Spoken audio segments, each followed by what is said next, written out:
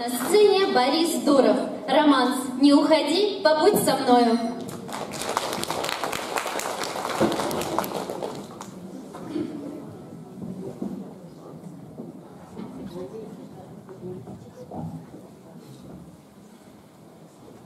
Thank you.